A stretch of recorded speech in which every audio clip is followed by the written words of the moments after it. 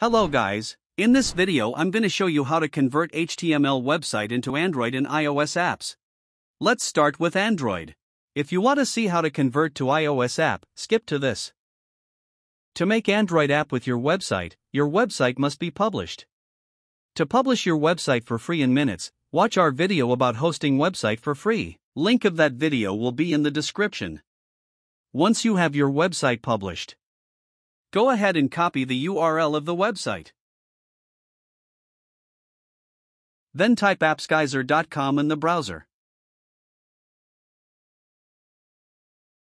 Click Create App.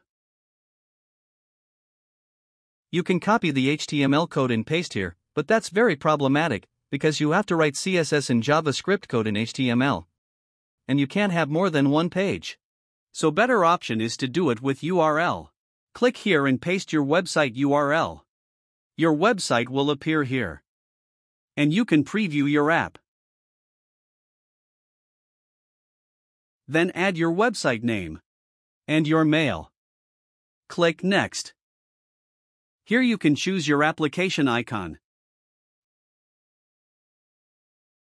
Click Next again. You can add features to your app if you want. But I'll skip. Click the Download button. You have to make an account before downloading your app. Click here and then click Download APK. What this do is that it will download package. And when you send to your phone and download on it, application will appear on your Android phone as shown in the video. Now I'll show you how to convert your HTML website to iOS app. There are three ways to convert your website to iOS app. But firstly you have to publish your website online. Because you need URL of the website to convert it. To publish your website for free in minutes. Watch our video about hosting website for free. Link of that video will be in the description. Once you have your website published, go ahead and copy the URL. So now let's start the first method. Open any browser and type appsgeyser.com. Click Create App. You can copy the HTML code and paste here, but that's very problematic because you have to write CSS and JavaScript code in HTML. And you can't have more than one page. So better option is to do it with URL. Click here and paste your website URL. Your website will appear here, and you can preview your app. Then add your website name and your mail. Click Next. Here you can choose your application icon. Click Next again. You can add features to your app if you want. But I'll skip. Click the Download button. You have to make an account before downloading your app. Click Download, and then download AAB. You can publish AAB file in App Store but you can't download on your iPhone. So if you want to download on your iPhone, second method will work for you.